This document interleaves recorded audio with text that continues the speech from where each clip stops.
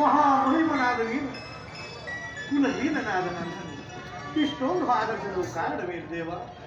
ಕರ್ಣ, ಕುಲಹೀನನಲ್ಲಿ ಕಂಡುಬರುವ ಗುಣಲಕ್ಷಣಗಳು ನಿನ್ನಲ್ಲಿ ಕಂಡುಬರುವುದೇ ಪರಮಾತ್ಮ. ಮಹಾಮಹಿಮ.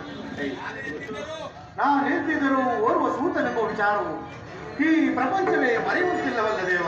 ಕರ್ಣ.